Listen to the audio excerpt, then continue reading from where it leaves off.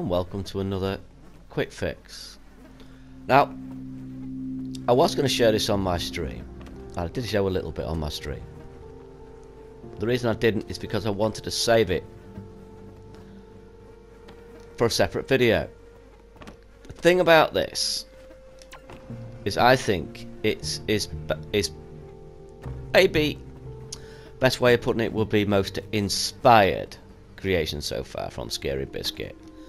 There's still that little bit of little bit of jank on the on the uh, characters.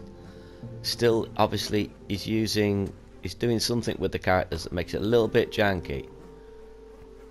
Just they don't quite traverse over this over the uh, territory very smoothly. But all in all, this is very well done. Exceptionally well done. Love the colours is used. It's using muted colour for everything but those things that are dangerous. Clues or collectibles. Which is a lovely little touch. And the idea is to collect toys. Very simple idea, but I just liked it. Just the way that green stands out against the paleness of the background. There's one toy, look. Like I said, just that little bit, just a little bit of jank on the character, that's all. I think once he's sorted that out, he'll get even better. But it's quite a well made character. It's an interesting character.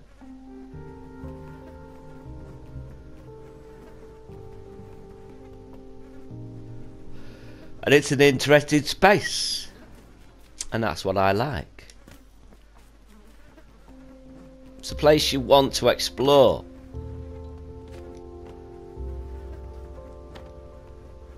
It feels as if it's quite convoluted is that there are things to discover. And to me, that's important.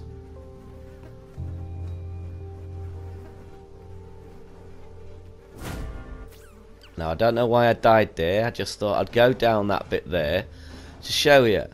Because I am so certain you're meant to do that. That plank, for some reason, is dangerous and it shouldn't be. Probably something he needs to iron out.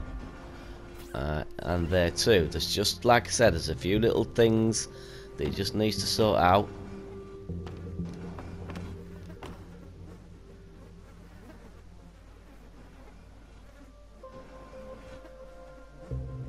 But it's still marvellous. We got cheese here, look. And I like I like the fact they started to use lighter more as well started playing around with the light a lot more than he used to. And this is nice as well, this section here, look.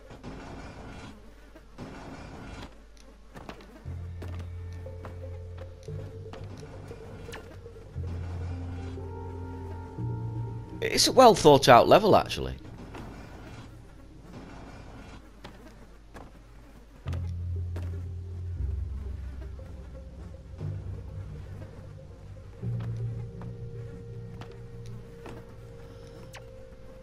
Can't go that way.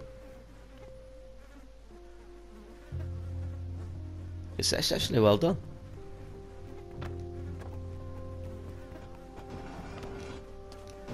It's quite a big space as you can see. I've got four toys out of eight, so there's more to come, obviously.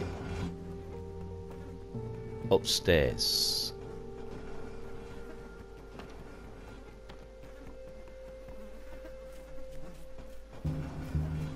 This cheese gives you health back.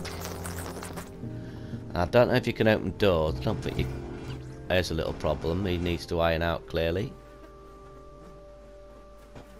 So we go up here, I'd imagine, because I haven't played this.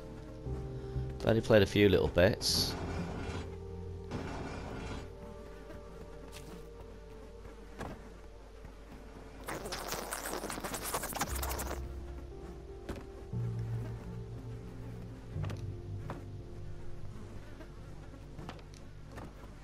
Ah, there's a toy there. I, I do like this. To see how using a muted colour makes those stand right out. And it's exceptionally well designed level. Just a few little niggles here and there. But as he told me, he doesn't like hanging around. He likes to finish something and move on to the next thing.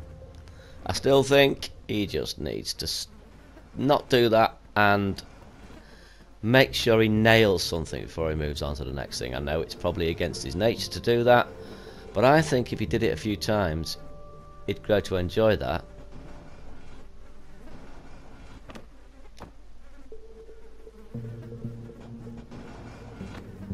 I think he'd enjoy the, that process.